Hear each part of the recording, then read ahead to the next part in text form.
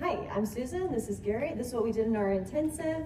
Um, and this was on standing out. So we're talking about specifically about dynamics. All right, so what are dynamics? This is like creating change and variation so that it looks different from what you've done before and what you're gonna do What your inflection that. and intention is, yes. Exactly. So what we talked about is four different things that we're gonna mess with. We have weight, time, space, energy. Okay, so for weight, we have light, normal, heavy. Cool. For time, you have slow, normal, fast. For uh, space, you have small, normal, big, close, normal, far, and then how you travel around the room. And then finally, energy, we talked about free, normal, bound. Cool. Now we did things with each of those. So um, first one was weight. Okay, so weight was like using weight to feel yourself into the ground, but you can also just look weighted by usually settling one, one uh, your ankle or your knee or your hip. Yeah, or even just doing this can look quite heavy as well. So heavy is easier to learn down, It yes, is. but it doesn't mean you have to be down. So drop your weight and feel that weight shifting from foot to foot, and then try to drag your feet flat across the floor. That's gonna make it feel heavy instantly, yes? Now go up to your tiptoes and try to lift your hands out of the ceiling. This is gonna make you feel like, now I can be light down here, and I can be, I can be heavy up here. Yes, it doesn't mean that you have to be, but it's easier to learn heavy down and light up. Cool. Okay, so then we applied it to patterns. So the first one we did was angsty sugar push. One, two, three, four, five, six. Now I can get heavy with her and drop with her if I know it's coming. If I don't know it's coming, then I usually will end up reacting to it and getting heavy off my two as I do it into three, four. Cool. Tuck, we went up on three. One, two, and three, four, five, six. Then we did a spinning side pass with a heaviness.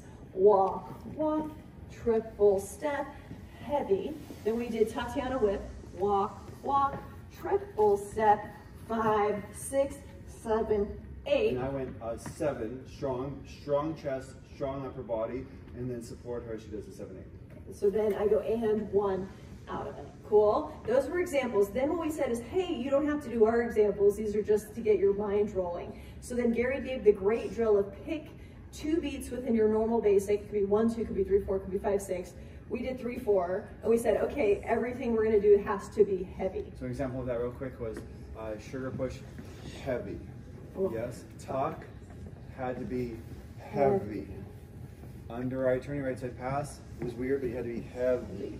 Yes. And then whip, you can feel that that's heavy on the three and four. Yes, to practice. Then do the same thing for one, two. Do the same thing for five and six. And then on the whip, do it for seven, eight as well. Cool. Sometimes for that, you might need help creating content that makes sense if you can't think of one. That's totally cool. Cool. So just get your teacher or your helper to figure that out for you.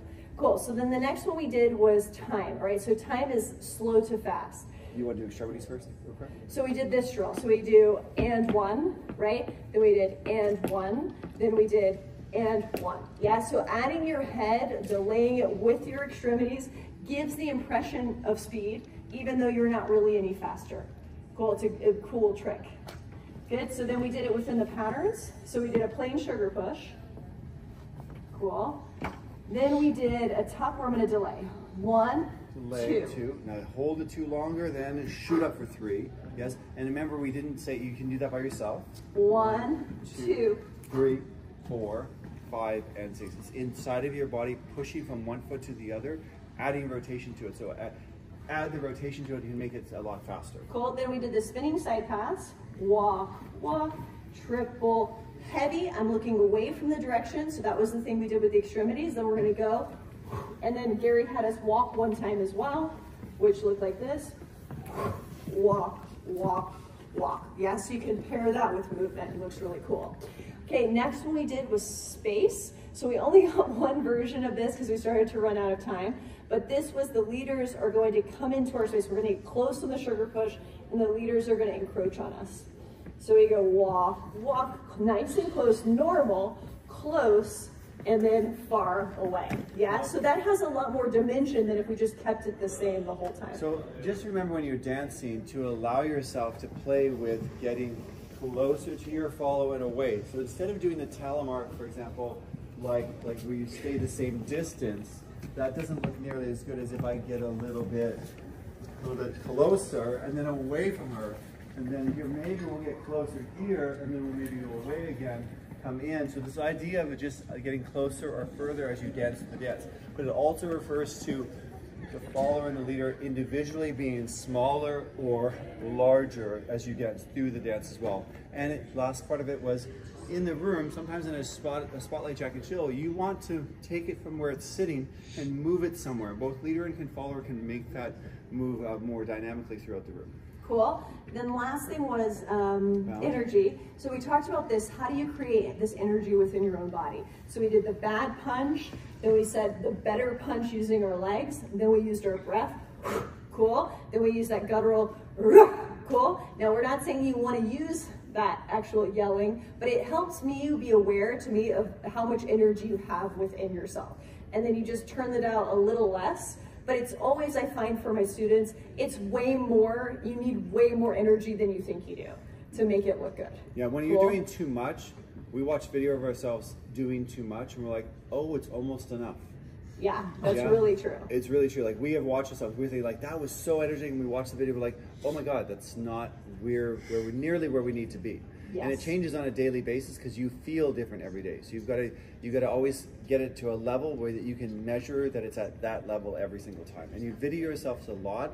You need to video yourselves to to uh, to have something to um, reference to, but to also to be accountable to. That you can actually come back to that level or get past that level next time you do it. Cool. Okay, so then um, we did, for this one was bound free. So we did just a tuck turn or a whip, two, three, four, bound free. The idea of bound is that we want to squeeze the hands until you're shaking and slowly release it. That's nine, ten, uh, sorry, eight, seven, six, five. Should feel comfortable and free. Four, the arms get heavy. Three, now I'm super free. So free means my body's gonna it just looks like it melts like a like a uh, like a tree in the wind kind of thing. But it has to have that that that kind of fluid mo mo motion to it as we go through it. Now, what I would say is like for fun homework or to try is let, us just pick one for you. Maybe the first one, because I feel like that's the one that we spent the most time on. You got the most, which was the light and heavy. So try this weekend, like doing all your dances, really exploring going light and heavy all the time. It will look so different if you get to video it. Now, maybe don't try it in competitions yet if you don't feel comfortable. Sometimes they say things might not be show ready yet, but definitely experiment. And experiment in no time it will be. Hey guys, thank yeah. you so thank much. You. Thank you so much.